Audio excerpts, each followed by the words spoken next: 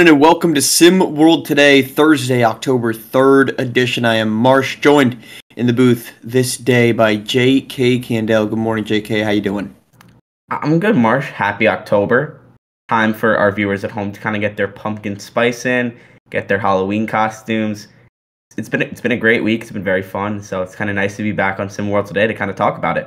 Don't put your pumpkin spice requirements onto me, okay? That's all I ask. I'm We not a pumpkin four- spice guy either, but I am actually. We had four top 25 teams or games rather in action. We're talking about three of them, mostly because one of them was an absolute bloodbath with Tennessee doubling up Syracuse. Uh, number six team in the nation looked like they could be deserving of number one. We'll recap the other three. We're also joined by Wisconsin's Ta'Mere Johnson to close out the show. But let's get rolling where our night got started last night, and that's Miami, defending champions in Marquette. They hold off. Miami does a 90 89 win over Shaka Smart's squad. A competitive game. Marquette was in this thing throughout it. Alex Rodriguez in his freshman debut looked dynamic. But let's start with the winners, JK, where this team looked exactly like we thought.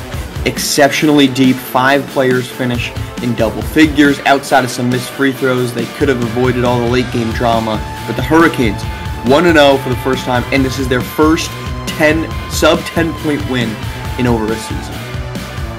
Gotta give credit where it's due. A lot of the buzz on Miami was going toward the guys like Kevon Jackson, Dominic Bianco, Jermaine McLemore, but I want to give a shout to Richard Hennessy. First ever Sim World U game. 14 15 double double. That's a true dog right there. This Miami team is well coached. They have some guys that can shoot the three well. I think if they see development from Jackson and Bianco from long range, I think that there's no telling those new heights that Miami can eclipse this season. There's a reason they're no, they're no, there's a reason they're number one in the country to begin with. There's a reason they won it all last year, and then you double up on that by adding both Jackson and Hennessy. They kind of showed we are what we thought they are, but I'm just impressed with the fact that that we're still kind of that's surreal that we're still kind of back and that Miami has not even has not looked to lose has not looked to have lost a step at all over the summer.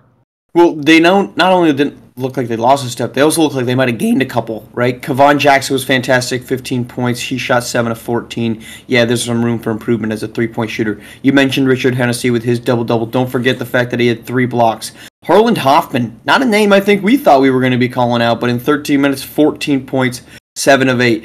As a team, Miami shot 63%. If you're Marquette, you're walking around saying, we think we can slow down this offense that scored in triple figures on a consistent basis last season, that likes to run up and down the floor, and you got welcomed into. That's just simply not really going to be an option all the time. Miami rules. Let's go to Marquette, though, because they did not look like the 24th ranked team in the country. They arrived on opening night. Alex Rodriguez, 30 points in 31 minutes on 21 shots. Marcus Leifat, a nice Simworld prep. Good to see him back in action. 22 points it just felt like for Marquette, while they had good pieces, it was this whirling dervish of a defensive attack that they could not contain. But you had to feel positive about their prospects. I know they only lost by one. They had a chance there at the end. Marcus Leifat's triple does not fall. But barring some really unforeseen circumstances, Miami kind of had this thing wrapped up. Miami, though, still has to feel confident in what they put out there. Absolutely. You're still the defending champions. You still managed to win a game like that. But remember, it's still SimWorld U. Anything can happen any given night. I've seen crazy, crazier things happen before. And losing to Marquette, even if they did end up losing to Marquette, I wouldn't put a big skirmish on Miami for that because look at how good Marquette looked last night. Alex Rodriguez really impressed me in his first ever SimWorld U game. You mentioned Marcus Leifat. This is a team that is 24th in the country, but they're still nationally ranked and still going to be atop the Big East. So got I gotta respect the way that they kind of handled Miami, even though Miami, even though Miami's death did ultimately like propel them to that victory. All right, let's move to Texas, Colorado, second game of our uh, broadcasted doubleheader. Number nine, Texas on the road gets an 89 85 win. Big nights from Vincent Magic and Arthur Lattimore. Magic 27 and 7, Lattimore 19 10, three steals. This was a team that seemed to get everything that they needed down the stretch. They shot 60% from the floor. Texas was dominant. Arthur Lattimore, I thought, looked fantastic. Vincent Magic with the ball in his hands also looked very capable, especially in an expanded role as a scorer. I really liked what I saw out of Vincent Magic. Arthur Lattimore was a guy where I I knew what he was capable of, and I'm not really surprised to see him doing what he did last night. But Vincent Magic was really mostly known for his playmaking at the Sim World Prep level. He led Sim World Prep in assists last season. He's a guy that was given a much bigger offensive role, and he and he ran with it. He did he did not um, did not waste the opportunity. He in the first half they were giving him clear lanes to the basket. He was showing his finishing ability, and then in the second half he made a couple nice jumpers, and he and he still had six assists. This is a guy that you pair him up with Arthur Lattimore, I think it's going to be the best case scenario for both of them. They look like they could be the number one. They could be the best one-two punch in their conference. Uh, what I found impressive was Arthur Lattimore going up against a really competent front court, especially Brian Vaughn for Colorado, did not seem to face him. He, on multiple occasions, was getting into the paint. He had five offensive rebounds. He kept possessions going. Down the stretch in this one, there was multiple possessions where Colorado looked like they got a stop, and then they just simply could not maintain that defense because Arthur Lattimore was in there getting second chance opportunities and overpowering everybody inside the paint. For Colorado, I think this is a positive start. We're going to get a lot of that. You rally back. You were down by 12 in the opening half. Um, you're able to make this thing a little bit closer with a nice 50 point second half. You needed that type of comeback. This is going to be a building process for Colorado as they try to remain competitive in a Pac 12 that, that could be headlined by UCLA. Colorado's a young team. I liked what I saw from them last night. The Vaughn brothers are kind of like their leaders and they showed up. But I'm most impressed by Jaden Thomas. Tim Stevens and I were on the broadcast last night. We were talking about who we thought needs to step up for Colorado, and the name that kept coming up was Jaden Thomas. And boy, did he do that in the second half. Clutch steals, clutch assists, finished with 16 points. He's a true freshman. He did it all. They need the scoring, and they got it from Jaden Thomas. Let's move on. Last one, UConn, Missouri. UConn trying to make it a third straight, and this is a matchup of two teams that came in with a lot of question marks. What was going to be the hierarchy for UConn? Was Missouri going to get any help? From anybody besides Japhet Towns, and we got answers to both of those questions. Let's start with the winners, and that's UConn. Boo Boo Morgan, Norman Nations, each over 20 points, 29 for Morgan in a double double. Norman Nations with 26. Farid Redmond, a little bit of a slow start, but he ends the night with 13. This is a trio of playmakers that are going to be a problem in the Big East, and they showed that on the road in Missouri. I was most impressed with Norman Nations. He's a guy that was good at Lakeshore Drive last season, but he was the clear second fiddle to D'Angelo Jordan.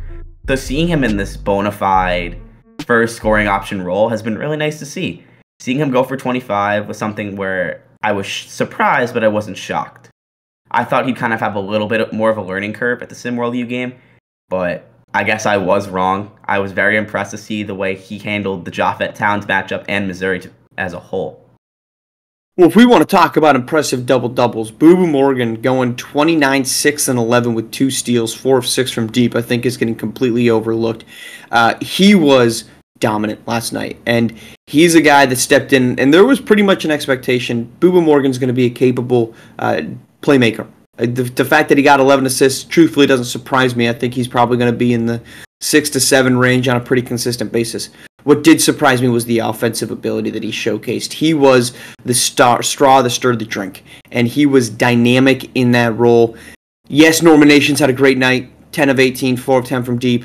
This is going to be a challenging team to slow down. Let's go to Missouri, though, where it seems like they might have a second piece, and that's Dylan Bannon. 15 points, 11 boards, 4 assists. Rebounds and assists both lead the team. Uh, shot 54%. That's a much needed number two option next to Japhet Towns, who had 25. Yeah, but there were rumblings, there were reports all offseason saying that Dylan Bannon was their breakout candidate for Missouri. So I'm not really surprised to see it come to fruition.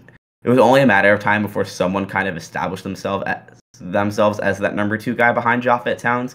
And I'm not I'm could not be less shocked that it was Dylan Bannon given the reports that I was given. Well, they needed something, you know, regardless of who they thought or who they could. It's all speculation until they actually hit the floor. the fact that they had anything, in my opinion, is the real win here. Missouri's gonna gonna need something to go right their way in the SEC. It is not going to be an easy conference for them to be even top three, top four in. Dylan Bannon needs to be able to produce at that level. He played 24 minutes. I'd say that's got to be a higher uptick. Some of these players that they gave big minutes to just didn't show up to play. David Duffy, Kashawn Burkhalter both had really tough nights. I wouldn't be surprised, and this is across the country, if we start to see some rotational reconfigurations as teams get two, three, four games under the belt. They start to figure out who are the pieces in the starting five that can get it done and who are the pieces that can't.